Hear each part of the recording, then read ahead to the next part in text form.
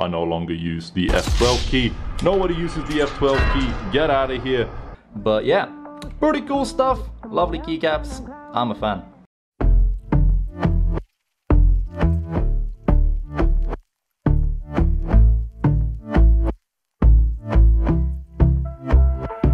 And I've been chillin', watching the ocean with you. Baby, up with a slow motion crew.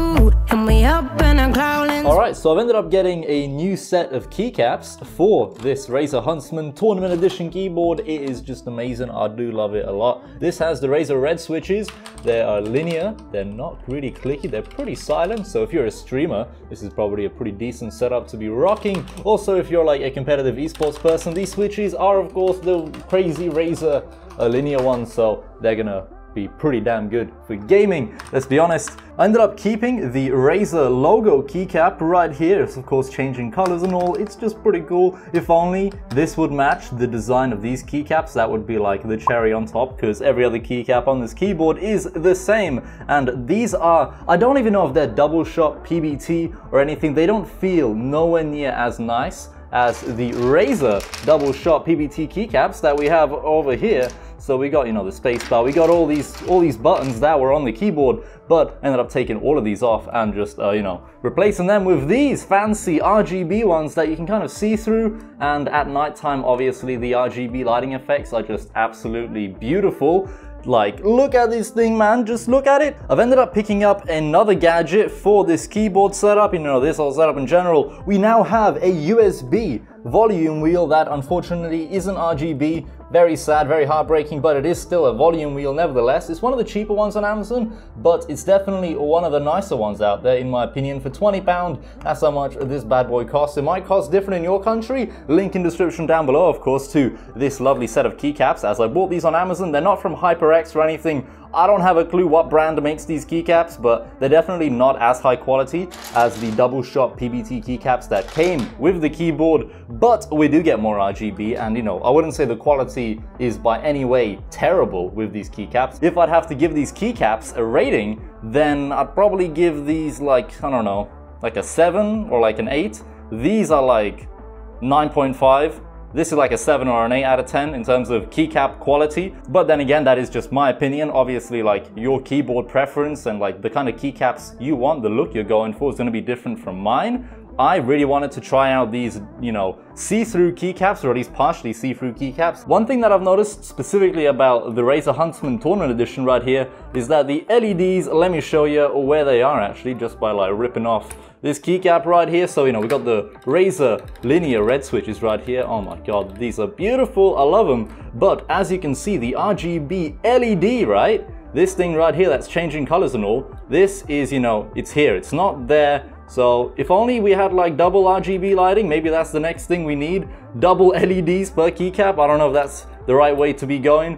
But basically that would resolve this issue in terms of RGB lighting. Do we really need double LEDs per keycap? I don't know if uh, companies would go as far as to do that. I don't know how expensive that would be, how much cost that would add to a keyboard, but that would of course make all of this bottom row light up and you know be all RGB and everything. But I suppose not everything in life has to be RGB, or at least like 100% keyboard. I, don't know where I'm going with this. I'm just talking about RGB and all. But uh, yeah, keycaps. This keyboard keycap set as well. I got like a, I think this is a UK layout. I don't even know what the hell I got, man. It might be like partially UK. Uh, is there a pound sign? How do you, this, uh, we got dollars.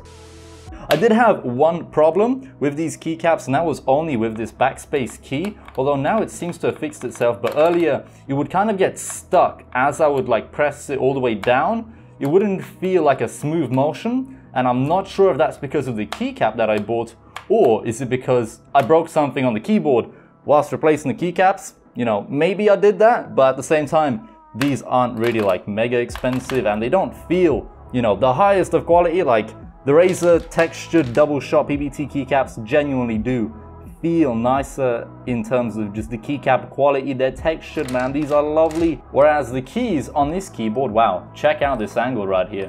Beautiful. This is why you want the see-through keycaps, man. That looks so sick. These are double shot PBT. This was a very simple process to, you know, swap all the keys for the Razer Huntsman Tournament Edition. The keycap set that I bought is the full-size set for like a full-size keyboard as I went from a Huntsman Elite to this. So I could technically uh, reuse all of these double shot shine through keycaps. If I ever wanted to go back to the Razer Huntsman Elite keyboard, you know, absolutely could. I'll just take all the keycaps off of this one and I've got all the extra ones that I would need for the full size, you know, 108 button keyboard layout or however many buttons there are, you know. So I've basically ended up with just a bunch of spare keys that are pretty much just gonna go onto your numpad. But they did come with a bunch of different sized uh, enter keys. So the enter keys come in multiple different shapes and they show you that on Amazon very clearly that this comes with a bunch of extra keys, even volume keys. So we got mute, which actually works. We've got volume down, volume up. You can hold it, of course, and it's gonna increase and decrease your volume real quick. What's gonna happen if we hold mute?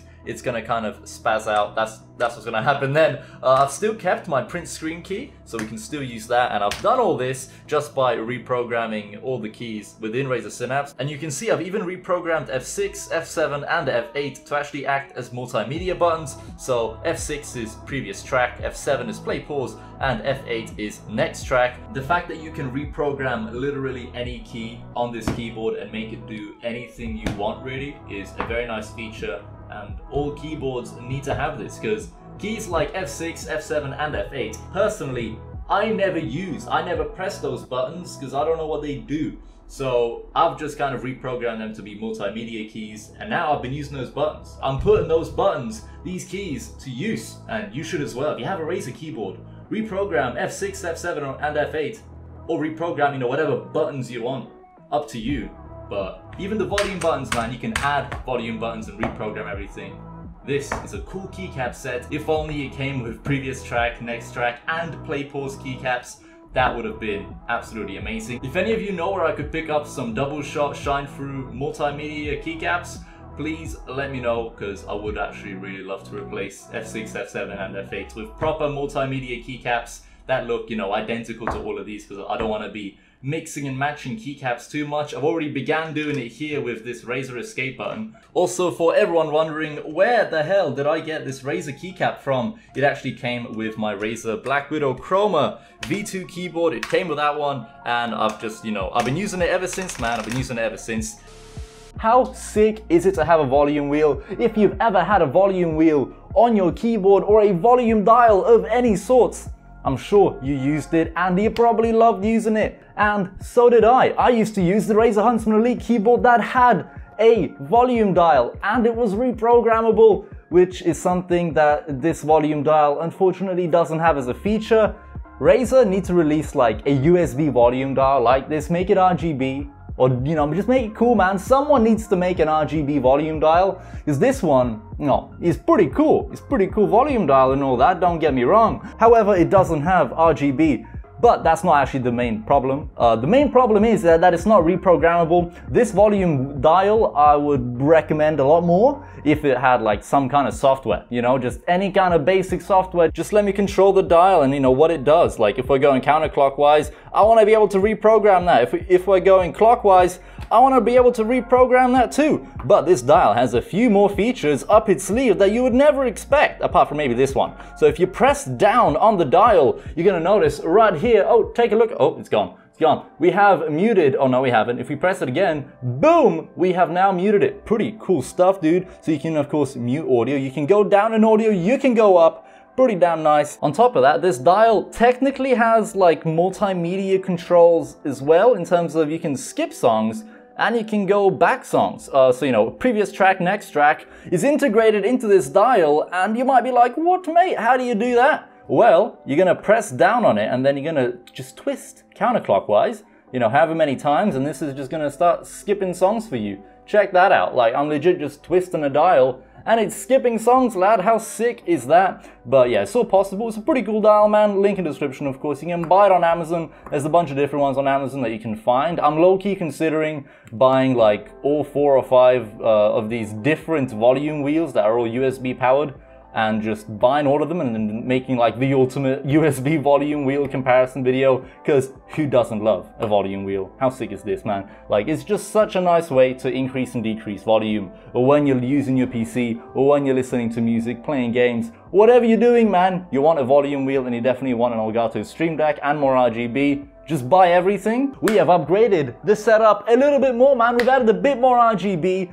I'm very happy with the way the setup's come along, especially now that like this keyboard has double shot shine through PBT keycaps, lad. It's all I ever wanted, apart from the part where the, the keycaps, they're not as nice feeling as the Razer ones. And that's because I think the Razer ones, they're textured, Razer textured, they're double shot PBT keycaps, but whoever whoever made these didn't texture them, so they don't feel as like premium. But then again, that's probably down to personal preference. Maybe you don't want textured keycaps and you'd be pretty damn happy with these. They're pretty cheap, pretty nice little upgrade. I would recommend them. The F12 key. Nobody uses the F12 key. Get out of here. I no longer use the F12 key. Nobody uses the F12 key. Get out of here. But yeah, pretty cool stuff. Lovely keycaps. I'm a fan.